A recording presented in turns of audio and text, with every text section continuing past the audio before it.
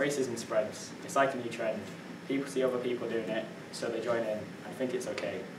They're influenced by the people around them. More people are going to think that, that this is okay the more people do it. This isn't okay and it needs to stop. You would think after an incident like the George Floyd one, people would stop, but no, people carry on. And you, and you just think, why? There's no reason to be racist. What has the colour of their skin done to hurt you?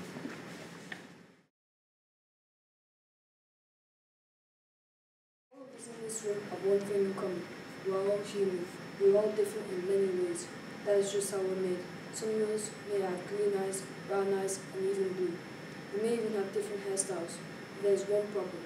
People like me are treated differently. People like me are judged by the colour of their skin. People like me, and when I say people like me, I mean black people, are associated with negative stereotypes by default.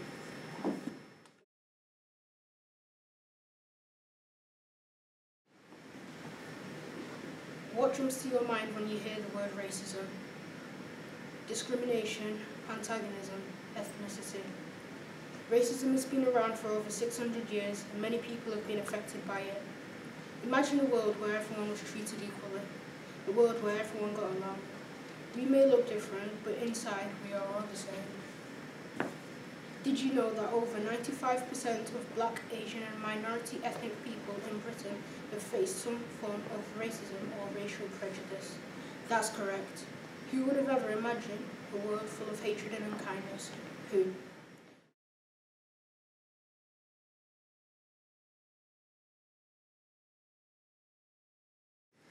Overall, my main points to you were that you should never bully anyone, no matter what.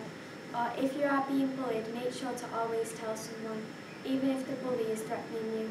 From my speech today, I hope that it is that if you do bully anyone, then you will face serious consequences. But other than that, in summary, I would like to say that you should be kind, caring and loving to everyone, no matter who they are or what they do.